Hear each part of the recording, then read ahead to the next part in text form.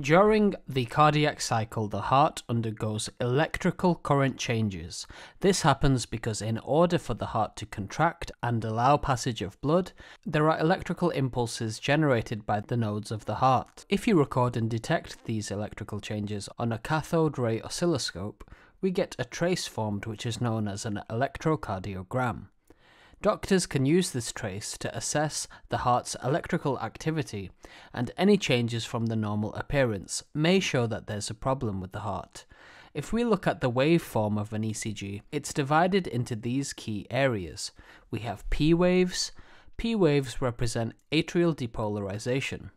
Now, normally in healthy individuals, there should be a P wave before each QRS complex. We have the PR interval, the PR interval begins at the start of the P wave and ends at the beginning of the Q wave. It represents the time that's taken for electrical activity to move between the atria and the ventricles.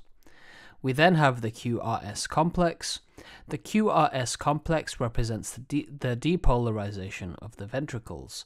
It appears as three closely related waves on the ECG, which you can see here. We have the Q, R, and S wave. The ST segment is what starts at the end of the S wave and it ends at the beginning of the T wave.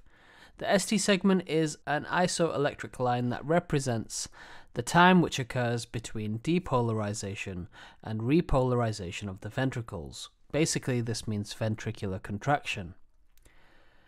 The T wave represents ventricular repolarization, and this is the small wave which occurs after the QRS complex we also have the RR interval, which begins at the peak of one R wave and ends at the peak of the next R wave, and it represents the time between two two QRS complexes.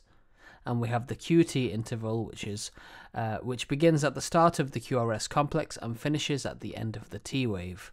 And this represents the time taken for the ventricles to depolarize and then repolarize.